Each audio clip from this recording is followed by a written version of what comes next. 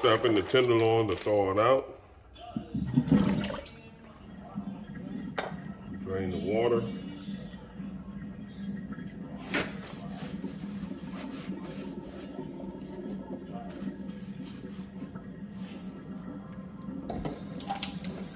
Wash my hands.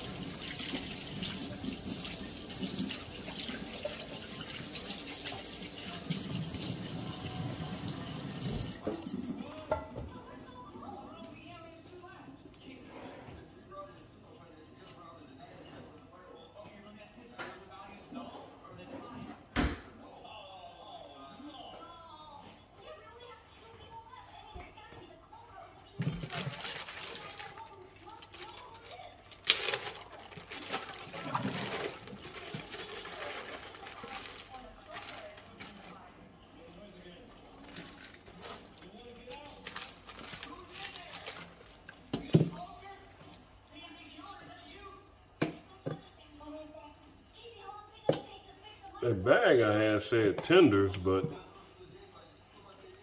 this look like backstrap.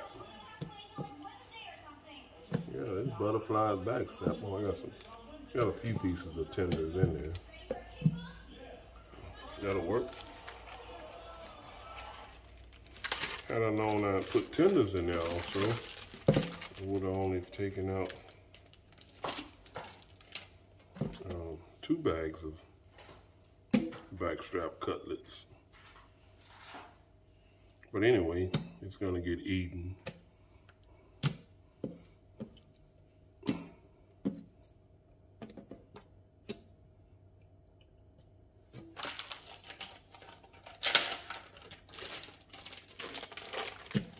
It just means more that I can um, to a gravy or fry. So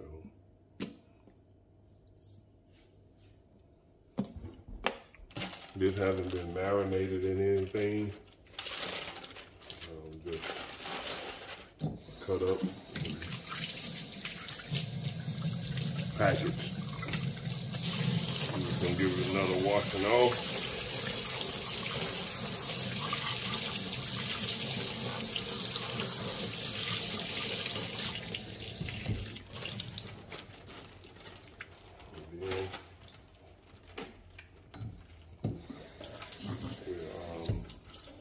Season it.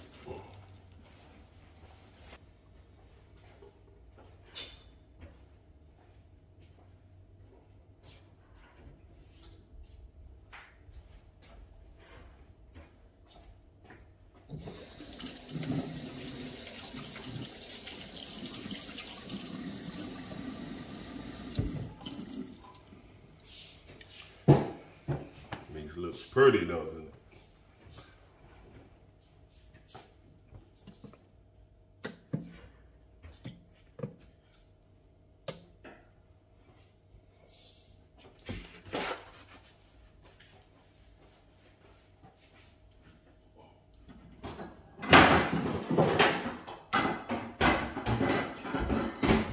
Grab my cutting board.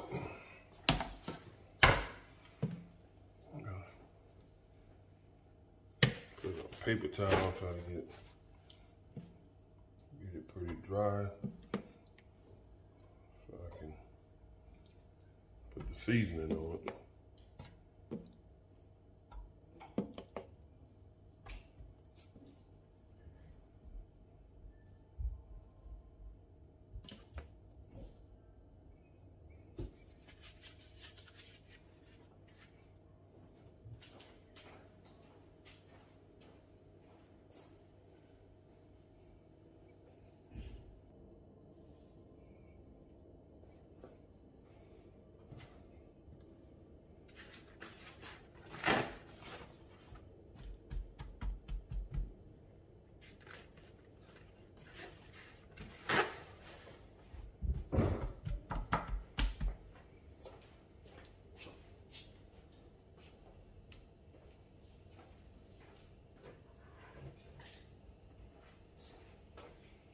All right, I'm trying to pat it, dry and get some of the water off of it.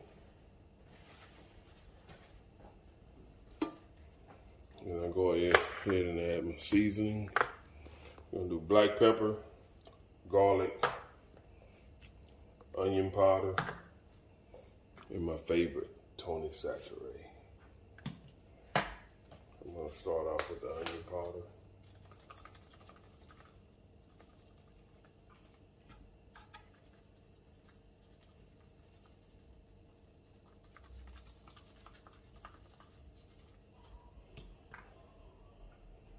And my garlic. And black pepper. I like to put a liberal amount of seasoning on my food. I like to taste my seasoning.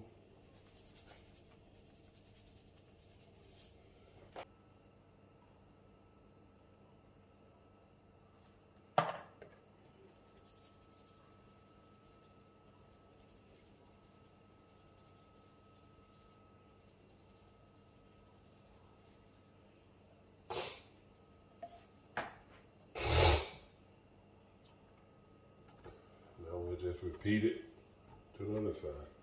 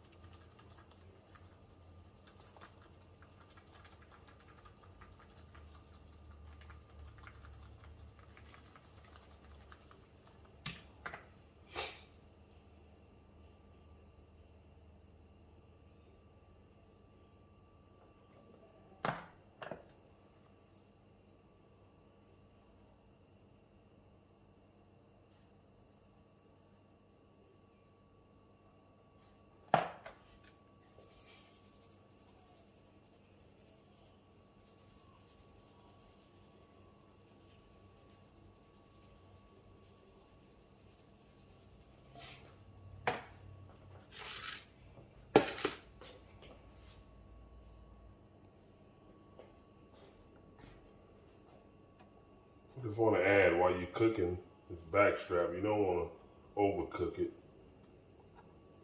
but um, don't want to undercook it neither. I'm not one of those medium rare guys or um, rare steak eating guys. I like my food well cooked. So, with that being said, it will be done. I don't like any blood running in my food. That's not me. You can keep a rare steak. I don't care how good they say it tastes. It's just not my cup of tea. These last three strips are tenderloins.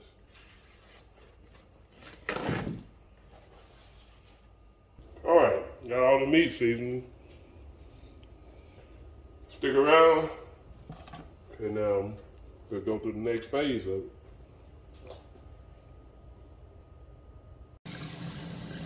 All right, got my hot water going. Clean off the countertops. Where all my seasoning was.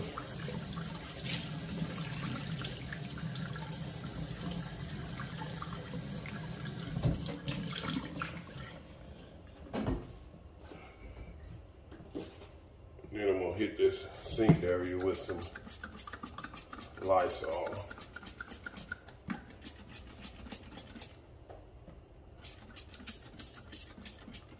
My wife will have a fit if I don't clean out the sink.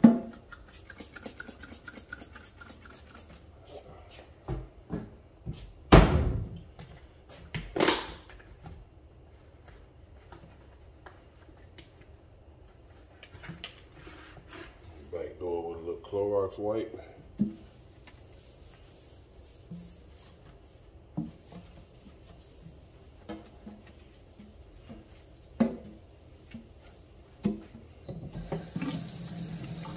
Rinse it out with hot water.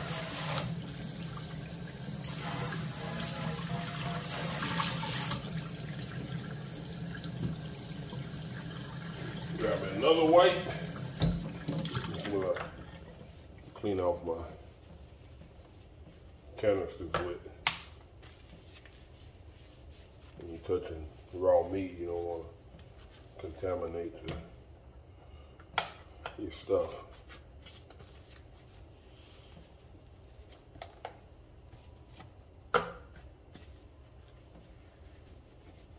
This is cleaned off. And put it back in its place.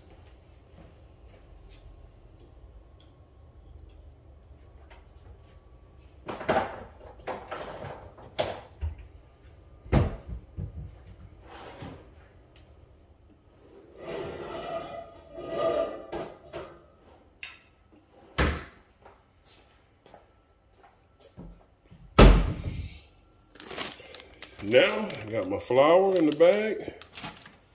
I was looking for my cornstarch, but I couldn't. I think I used it all.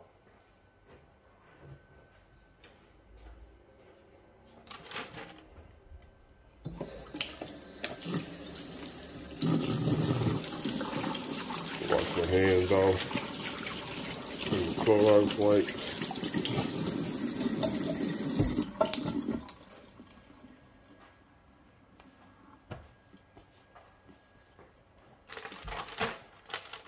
I'm gonna drop some of the, these backstop this in the, in the flour and shake it up.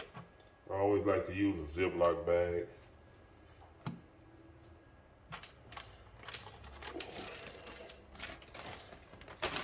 Shake it around, get everything coated pretty good.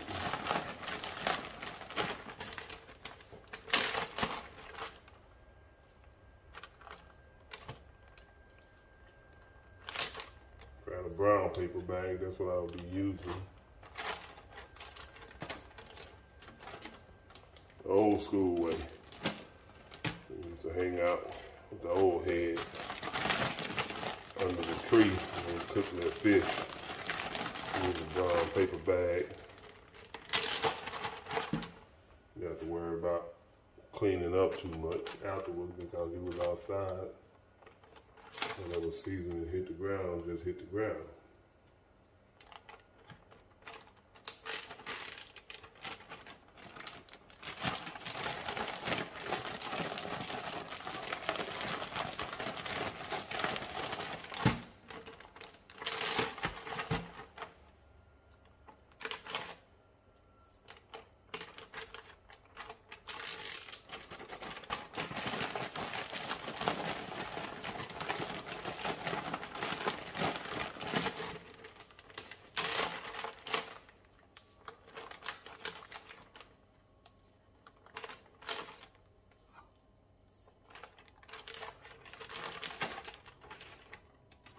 Smelling good. Smelling good. Wish that video had smell-o-vision.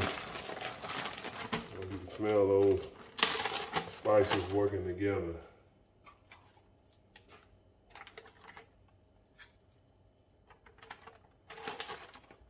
Put enough flour in the bag to where you can kind of coat everything at one time.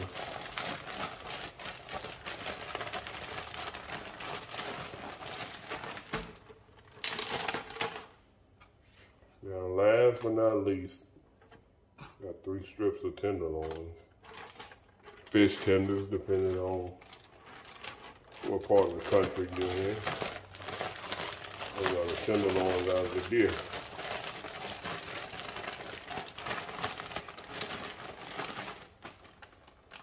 All right. Got everything coated.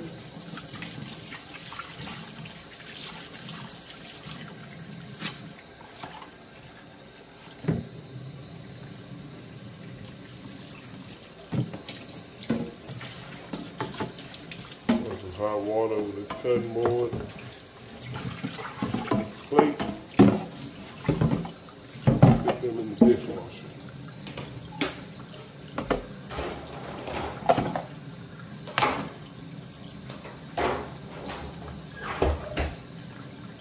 Wash my hands again.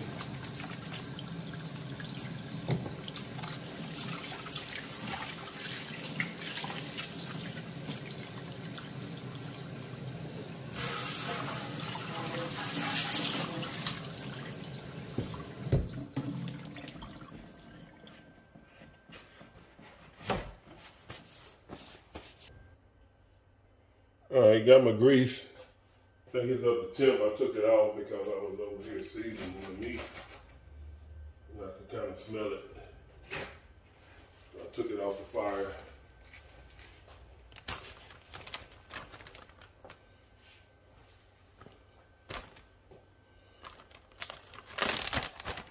I have a grease thermometer. I just go on the field. There we go.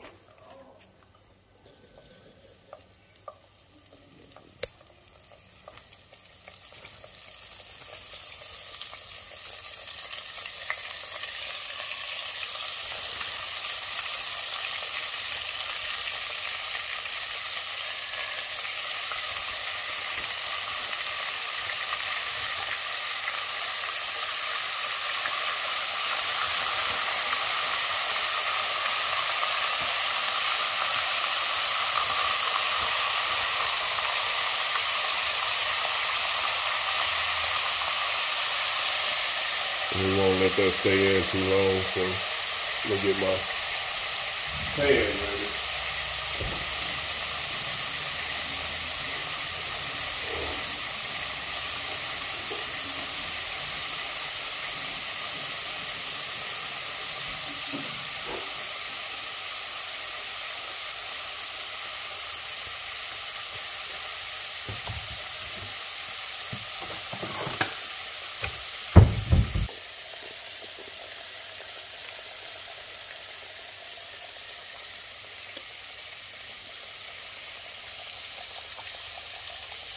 Looking good.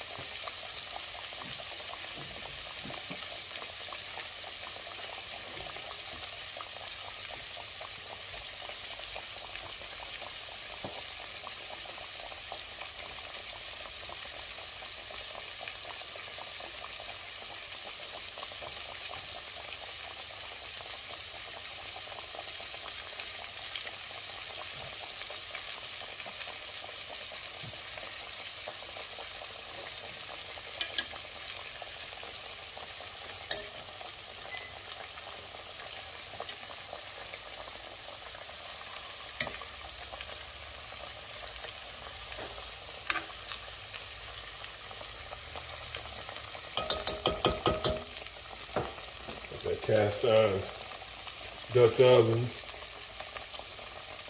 And that never tried cooking in cast iron. You need to try that. Make the food taste hundred percent better. It's healthier for you too. Help build up the iron in the blood.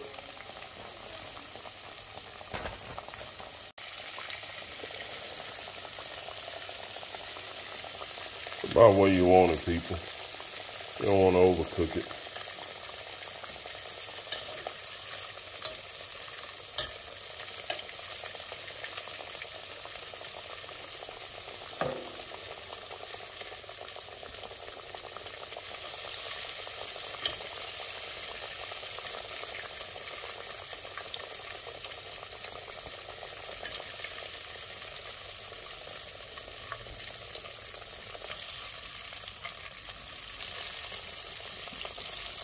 Piece there, and then long ones a little bit thicker.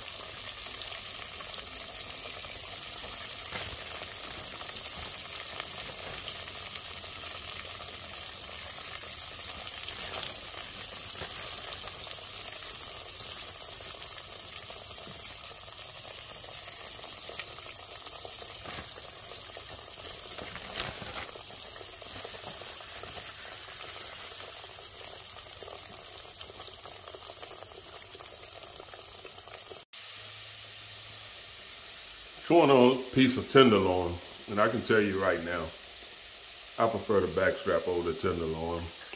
I know a lot of people might disagree, but the backstrap to me is a little bit more tender than the actual tenderloin. So just want to put that out there.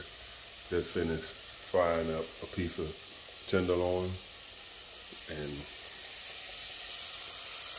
um, backspace it both.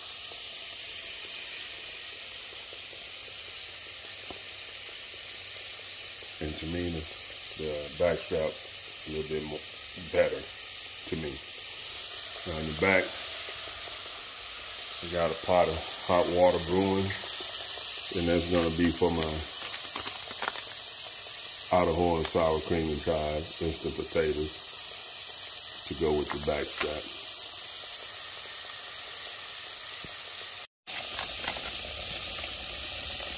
Got the water boiling. Now I'm gonna add in my mash. My instant mash. And I can cut the fire off from there.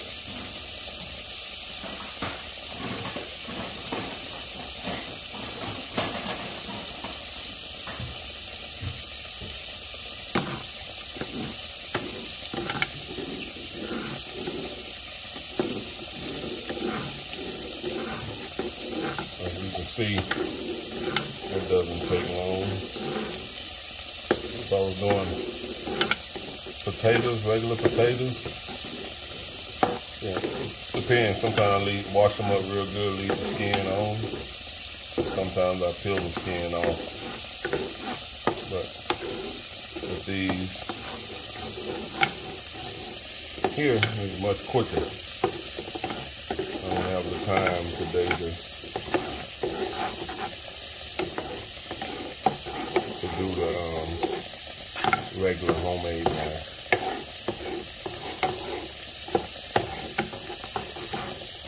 This was an Idaho um, sour cream and chives. So that's, a done deal there.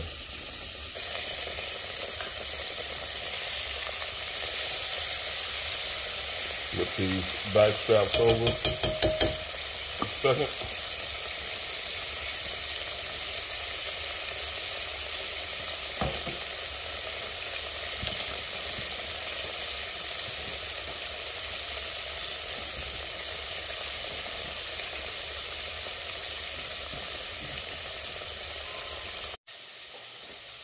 We'll cut up a little red onion. So I want to get ready to make the gravy. I'll have it already cut up. You can use white onion, yellow onion, whatever you prefer. I have red onion on hand because I use it in my salads a lot when I make them. I just love the way onion tastes.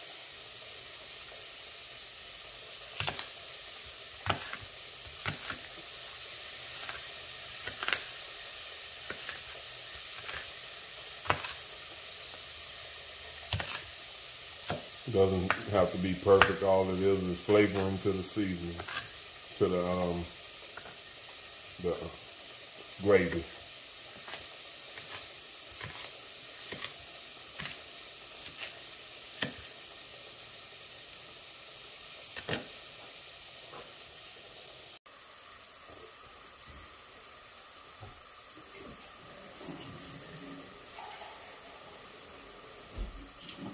All right, add a little water to this.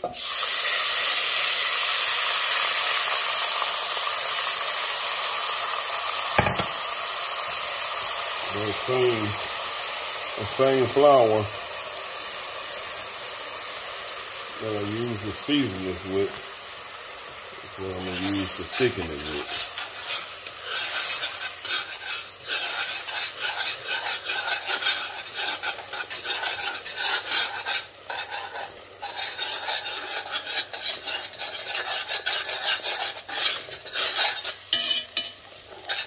It's already thickened tremendously, so I'm gonna add a little bit more water to it to loosen that thickness up. That's all it is to making a good gravy. You use the the crumbs from whatever you were cooking. You pour some of the grease out. And yeah, start off with your cup of water, depending on how much drippings you leave in there. Right now, it's just about about a good 30 weight right there. In the beginning, I would say it's a good 40 weight gravy. Let me add just a little bit more water to it. Going to get me another spoon. Spoon.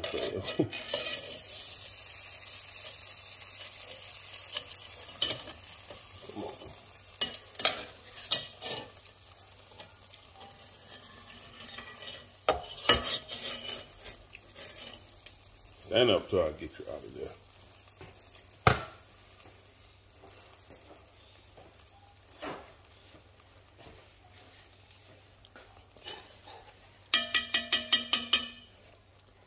Gravy hot.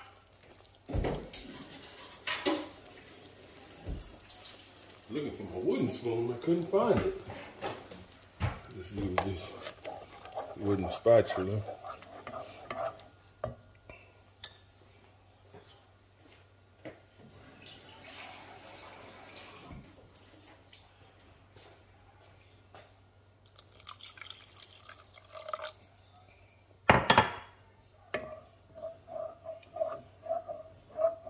There she go. Start adding in a piece, a few pieces of that strap.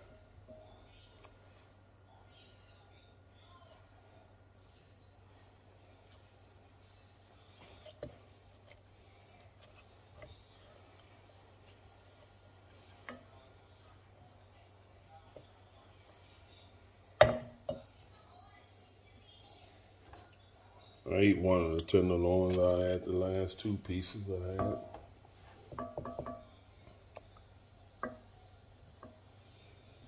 That's why you don't want to overcook your any meat for that sake. Because if you're going to do a gravy, you're going to have to put it back in there and let it cook down. So that's one of the reasons why you don't want to overcook it.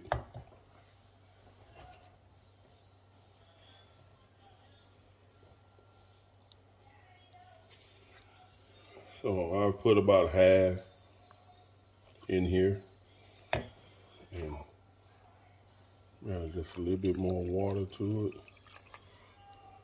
And I'm gonna let that let that simmer. But hey, that's that's how my mom taught me how to make gravy, and um, it's been spot on ever since. If, it's messed up, it's because I messed it up. My mom was a cook for I don't know how many years. I know I was a kid, and she was always a cook. And when I was in high school, she was a cook. So uh, every now and then, when I get stuck, I call her up and ask her how to make this or make that. And uh, and it's a blessing to have that privilege to be able to call your mother. A lot of people take for granted, but um, hey, they're not always going to be here with us, the same as us. We're not going to always be here with our kids. So, hey, don't take that for granted. Don't take it lightly. But I got those uh, about half back strap, half of the back strap in gravy. And the other half, I didn't do a gravy to them. I just left them fried. And um, that's how you do it. It's pretty simple. So, um, hey, stick around for the plate presentation. I'm going to let those simmer for about 10, 15 minutes maybe, and then I'll get back with you guys. It's time for the plate presentation, baby. Everything is done.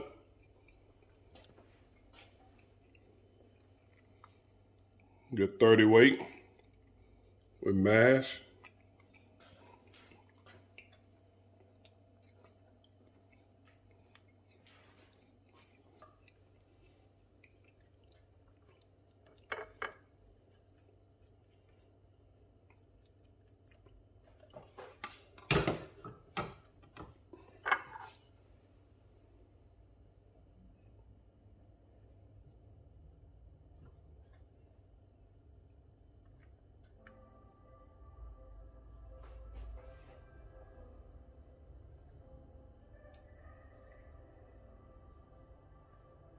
Oh, you done found it on the TV?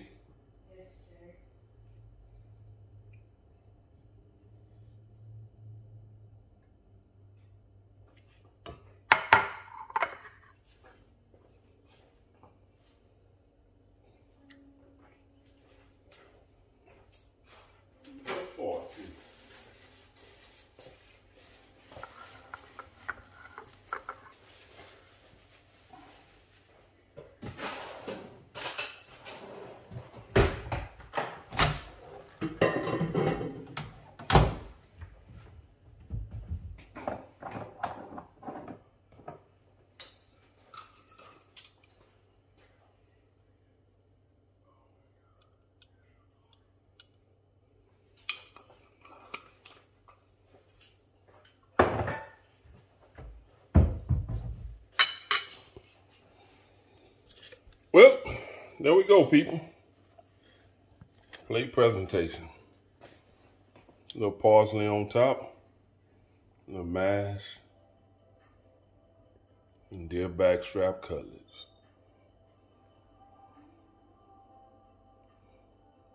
I want to thank you guys for tuning in on today's episode of Chasing Tails, where we showed you how to prepare a succulent meal out of backstrap, venison backstraps, tenderloin cutlets.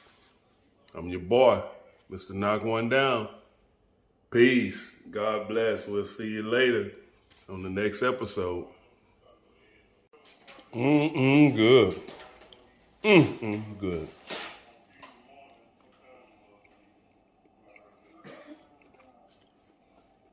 You burnt my cup. Mm, mm, mm. Good.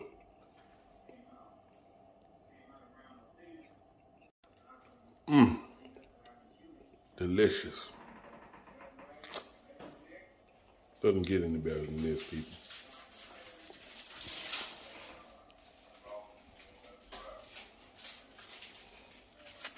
Hey guys. I got a little knock one down junior in the picture. Can you believe he out for microwave popcorn over venison backstrap cutlets and mashed potatoes and gravy? Yep, he did. But that's all right. It's more for me.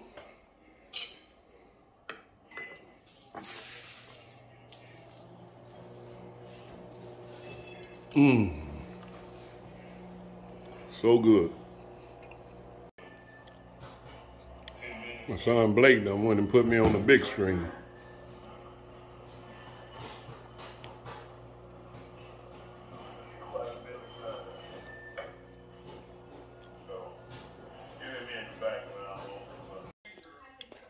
Cast iron Dutch oven back cleaned out. I'm gonna add a coat of oil to it.